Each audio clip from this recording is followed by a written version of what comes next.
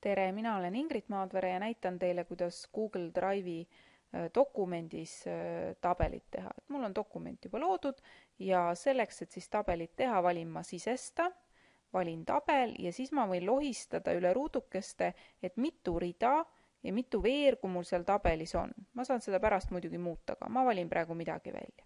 ja tekkiski mulle tabel. ma saaks hakata siia kohe kirjutama nimi ja klass ja kõik seda sisu, mis ma tahan.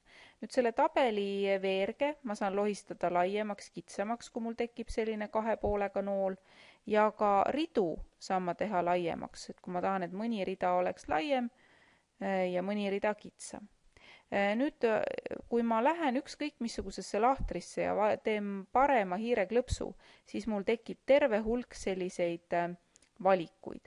ma saan sisestada rida üles. Ma saan sisestada rida alla, veergu vasakule, veergu paremale. ma saan kustutada rida, et siin on kõik ilusti kirjas, kustutada veergud, terve tabeli saan kustutada. nüüd see jaota read ja jaota veerud, et kui ma näiteks valin, mul on siin juhtunud nii, et nüüd read ma olen lohistanud, et nad on erineva laiusega, siis kui ma valin nad välja ja panen nüüd äh, jaota read, siis ta teeb nii, et nad oleksid kõik võrdse laiusega. Äh, siis on võimalik ühendada lahtreid.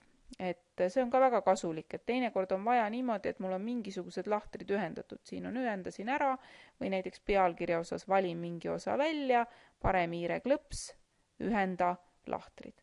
ja siis siin äh, kirjutamise puhul, kui ma olen siia kirjutanud näiteks klassi nüüd, siis ma saan siit ülevalt kõige selle tekstiga teha, joondada teda sinna, kuhu vaja, ma saan äh, värvida, näiteks kui ma tahan tabeli lahtreid ära värvida, valin siit rohkem ja selle värvipoti, värvin näiteks selle kollaseks, äh, siit valin mingisugused lahtrid vä-, välja, värvin need äh, roosaks, ükskõik mis värvi.